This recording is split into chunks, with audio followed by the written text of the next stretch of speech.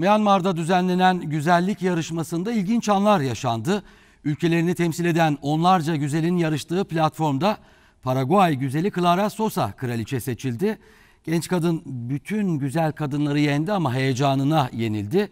Sonuç açıklanınca sahnede heyecandan yığılıp kaldı. İşte o ilginç anlar.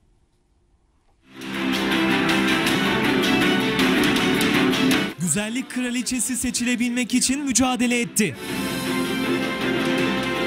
Birinci olunca da heyecanına yenildi, sahnede bayıldı.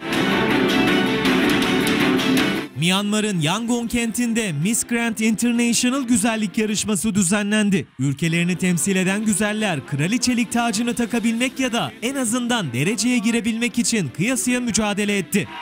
and good luck. Yarışmanın finalinde ise ilginç anlar yaşandı. Adaylar sonuç açıklanırken çok heyecanlıydı. Son ikiye Paraguay güzeli Clara Sosa ve Hindistan güzeli India Choteri kaldı. İkili sonucun açıklanmasını el ele tutuşup bekledi ve birinci Paraguay güzeli Clara Sosa oldu. Ve genç kız heyecana dayanamadı. Sonuç açıklandıktan sonra kendini yere bıraktı. Herkes panikle genç kadının yanına koştu. Sunucuların yerden kaldırdığı kraliçe tacı takılırken de gözyaşlarına boğuldu.